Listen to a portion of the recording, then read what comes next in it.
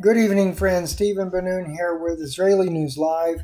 And the situation with Russia uh, and Ukraine is really uh, a situation that's being blown completely out of proportion. Uh, I was, of course, in, in briefings uh, yesterday evening, and in fact, uh, they were still waiting for the results of the meeting that had finished up at 4 p.m. Eastern Time between Vladimir Putin and that uh, the president of Russia and President uh, Biden of the United States. And I know the consensus from Washington insiders, uh, in fact, very, uh, very uh, advisors to the president uh, regarding Russia was that they were very concerned about how this meeting may go, whether or not uh, Biden would end up creating more of a critical situation uh, with Russia that is really unwarranted. And all the talk about building up, Russian military building up to take Ukraine, I was told is completely fab- uh, fabricated. None of that is actually true. It's only being made to look that way uh, for whatever their political purposes are. And then Syrian Girl put out, uh, uh, put Fox's uh, Senator Wicker out there and what he's saying here.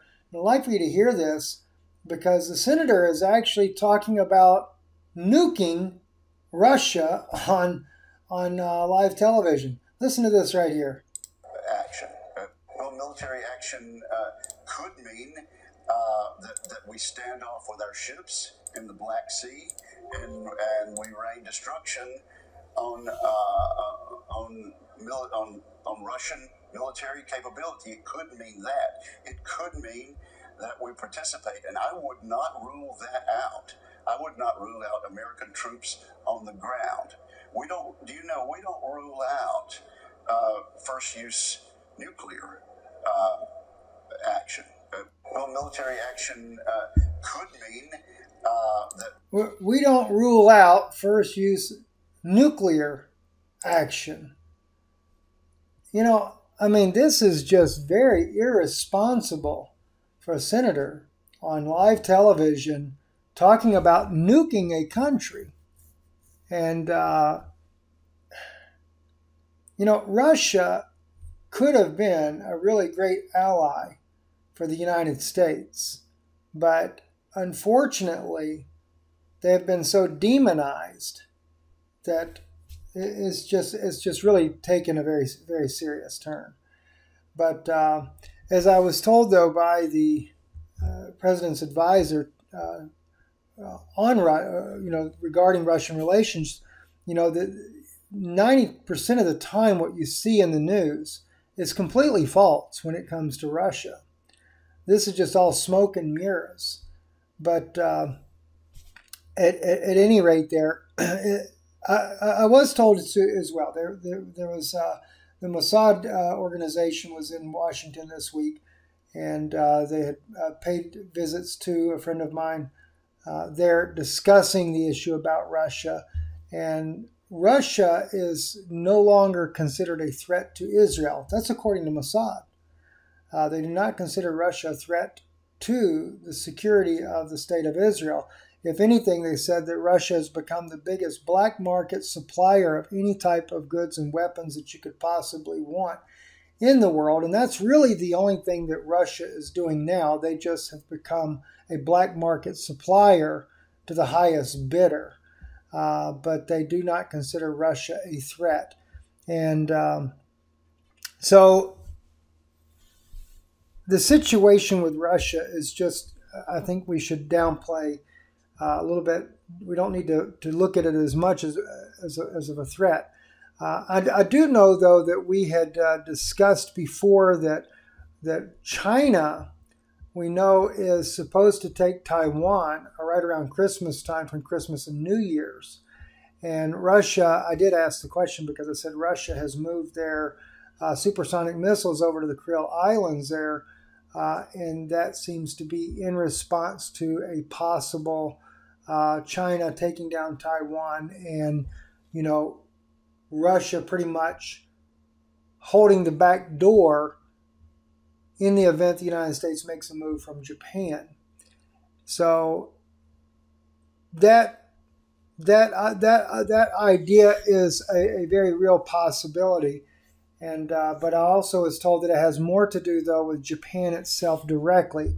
Russia putting these missiles on the Kuril Islands there, that uh, Russia has issues with Japan as well as China has issues with Japan. But China, in, in reality, though, is vying to take over the entire Pacific region. And Taiwan is just the, the first stop along the way. Then the Philippines, and then after the Philippines, then uh, South Korea. That'll be the next move that China does in order to push the United States out of the the uh, the Pacific region there. So, and then Russia too wants to make sure that they have their own stake in that area. Uh, I, I, was told though that we can expect to see though nations in the near future, and this is one of the reasons why we're going to see the different types of wars that we're going to see, uh, are are more so battling for territory to be able to grow food because uh, we're having so so much turmoil on the earth from different uh, issues, whether it be cosmic, uh, volcanic, etc., that this is one of the reasons why there's going to be a lot of wars over land. And it is, China is still poised to try to attack the United States in 2024, late 2024. And, uh, but the assessment of Russia being involved, I've been told, may, may have to circle back and relook at that. Originally, it, it appeared to be that Russia would actually somewhat help China uh, when it comes to taking out assets on our east coast. But that may be changing. we'll have to wait and see how that goes. Another thing that was uh, shared with me, though, too, is that uh, Israel is still on track to build the third temple. That that is coming under uh, Bennett's administration. That that is not going to change. That we can expect to see that. And of course, then also uh, these volcanoes and earthquakes and things like that are just going off like crazy all over the place, especially off the coast of Oregon. There was a swarm of earthquakes that took place there, as you can see.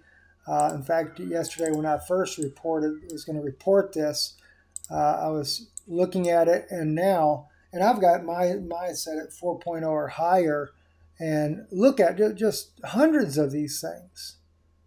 Uh, unbelievable number of earthquakes there off the coast there of Oregon. Uh, and of course, that's an interesting aspect because one of the things that I was told is that there is coming a major earthquake that they're anticipating uh, by the end of next year sometime that'll be uh, off the coast of the United States. I think it's the East Coast, though, rather than the West Coast. And that it is to create a fissure that will open up the seafloor between the seafloor on this part of the planet and that of the inner oceans, uh, which, well, maybe if you check out on Patreon, we'll go into that over there. That's one of those things that we talk about some very strange things that happen. Uh, and uh, yeah, so there's some really weird things that are anticipated to be happening there. I'll share that with you over on Patreon. Speaking of Patreon, we did do a. Uh, I redid the video I had done yesterday there about Planet X 2029 uh, and what the government's official response is on Planet X. A little bit confusing. Uh, but you might might find the, uh, the, the broadcast interesting there. So I'm Steve Ben-Nun. We're watching. You're watching Israeli News Live. Pray for our family. So our family has just been very very sick here lately. Uh, I'm finally coming out myself. Still a little bit cloudy in my my head though with all this uh, stuff going on, and uh, my wife, my father-in-law, still both very sick. Uh, have been for quite some time. So please keep our family in prayer. We appreciate it. And thank you. Thank you for your support of this ministry as well. IsraeliNewsLive.org is our website there. Uh, if God lays upon your heart to support the work we do, Dunoon Institute, P.O. Box 156, Sunbright, Tennessee 37872, or just click right there and donate online. We appreciate your your love and kindness. And I'm going to be actually writing letters to people, uh, sending letters out for people that have been supporting us via mail as well. So thank you for your love.